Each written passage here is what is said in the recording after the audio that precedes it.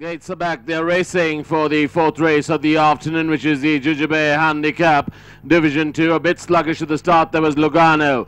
But as they sort themselves out and its perfect balance gets straight down into business by about four lengths in front of Crystal Ball is in second place. A length and a half away, there's Scarlet Emperor being joined on the outside there by Demonstrate. A gap of two lengths away, there we go back to Stunner. A length away, Stunner. There's Lugano moved up to be third last, second last, looking good. Last of all, Tangaluma.